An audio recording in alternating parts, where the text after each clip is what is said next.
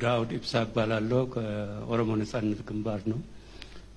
መጀመሪያ ንጉሱ ነው office መጥቶ ያናገረን ያናገረኝ። መጥቶ ሲያናግረኝ በጣም እየተቸገረ መጥቶ እንዳናገረኝ ከፊታቸውና ከሁኔታቸው ተገንዝቤያለሁ። እኔም ተቸገርኩበት። ለምን ተቸገሩ ብዬ ይሁንና ይሁንና ቅድም ንጉሱ እንዳለው ከተናገሯቸውና ከገለጿቸው ውስጥ የኢትዮጵያ ፖለቲካ እንደ ሌሎቹ ተመክሮ ውስጥ እንዳለፉት እኛ ካጠና ናቸው ስታክል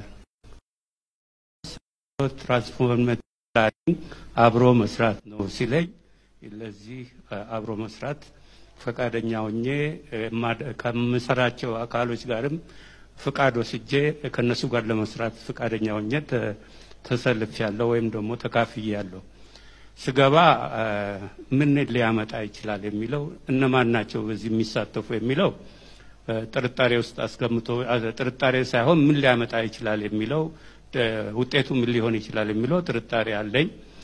ሰዎቹንም አላቅም።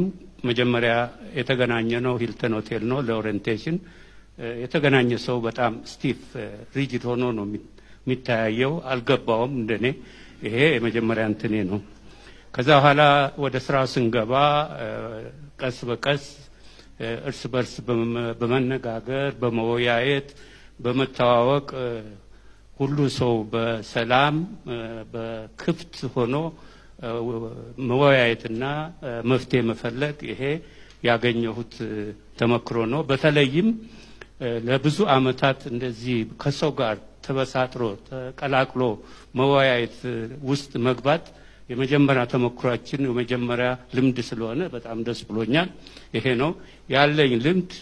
ካገኘሁት ልምድ ንጉሱ ለኢንተርቪው ለሁለተኛ ጊዜ ወደ እኔ መጥቷል። ሲመጣ የነገረኝ ነገር ሰዎቹን ስናነጋግር እየፈራን ነው ያነጋገር ነው።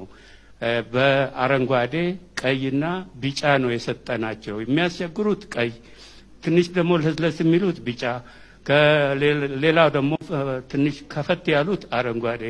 አቶ ዳውድ ቀይ ነው የሰጠናቸው። አሁን ግን ከተገናኘና ከተዋየን በኋላ አረንጓዴ ሰጥቻለሁ።